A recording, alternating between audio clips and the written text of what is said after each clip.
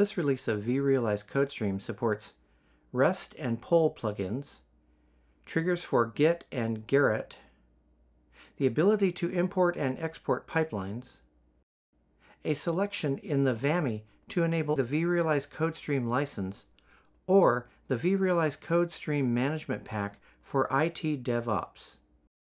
vRealize CodeStream 2.3 is supported with vRealize Automation 7.3. You can achieve continuous integration and development in your release automation pipeline by using plugins. vRealize CodeStream 2.3 supports REST and POLL plugins. The REST and POLL plugins do not require an endpoint. Use the REST plugin to invoke a REST API to send and receive data between applications such as GitHub, Jira, and so on. The REST plugin works with any external system that exposes REST APIs. In your pipeline, you add a REST task, configure the task, choose the HTTP method for the REST call, specify a payload depending on the HTTP method, activate and run the pipeline, verify the task execution results. Use the poll plugin to listen for the status on an API so that you can detect when a task completes. Configure the interval so that the plugin continues to poll the API until the task meets the exit criteria. You can include an exit criteria for the poll task to stop the polling and mark the task as complete or failed. The exit criteria can be a success criteria that is mandatory and an optional failure criteria. The criteria can refer to the JSON response of the API call and bind to a property value in the JSON response. In your pipeline, you add a poll task and configure it to include any URL and variable, the poll interval, the timeout, and the JSON key path. Activate and run the pipeline. Verify the task execution results. Use the vRealize CodeStream trigger for Git to integrate with the Git lifecycle.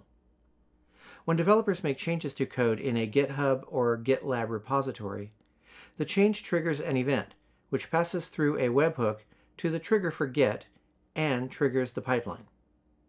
To integrate CodeStream with Git lifecycle, on your local machine, install the trigger for Git, generate and run configuration file to listen for events from GitHub and GitLab Enterprise, copy the URL provided by the configuration file.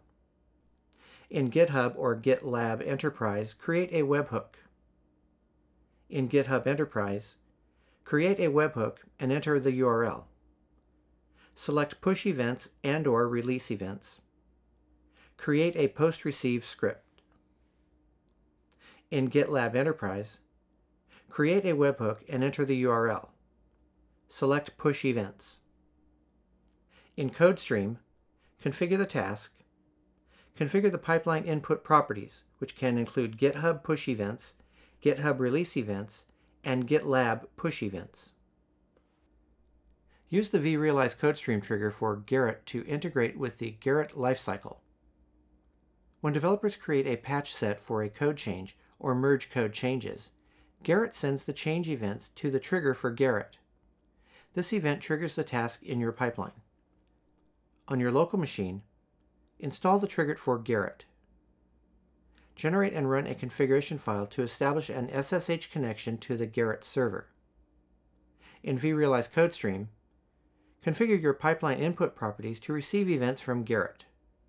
Configure the task and include a condition string for the trigger event. For example, the condition string can cause the task to trigger only when a developer merges changes in Gerrit. Gerrit sends the change events over the SSH connection to trigger the pipeline. You can import a previously saved pipeline into your vRealize CodeStream instance, or you can export an existing pipeline so that you can share it with other users. To export a pipeline, click Pipelines. Select a pipeline and click Export. The pipeline is saved to a JSON file on your local machine with the same name as the pipeline. To import a pipeline, click Pipelines, Add, Import.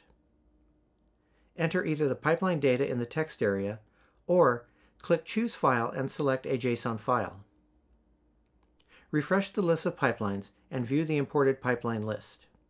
Activate and run the imported pipeline. You've learned about new features and where to access each feature in this version of CodeStream. For more information about vRealize CodeStream, visit pubs.vmware.com.